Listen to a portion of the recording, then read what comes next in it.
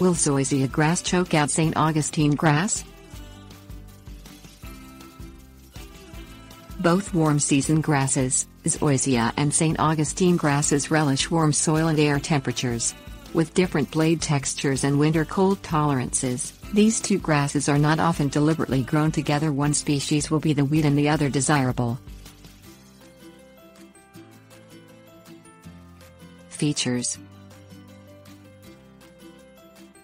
Zoysia grass, with thin, soft leaves, grows more slowly than St. Augustine grass. Zoysia also tolerates drier soils as well as much chillier winter conditions it turns tan in color when dormant. St. Augustine grass grows quickly with stiff, coarse blades. It falters in dry soil and dies back in sub-freezing cold.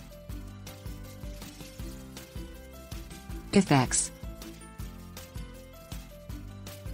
If the environmental conditions favor one grass species over another, choking out may occur. For zoysia grass to overtake and smother St. Augustine grass, the soil must become drier to favor the zoysia's slower growth and cause the St. Augustine to wither. In light shade or sub-freezing winter weather, zoysia will persist even when dormant, but the St. Augustine will be partially to fully killed.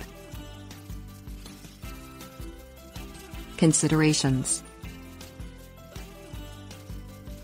Zoysia grass is typically mowed short, as low as 1 inch, far too short for St. Augustine grass to still display green leaves. Zoysia doesn't overtake St. Augustine unless the latter withers, weakens from pests and diseases and dies.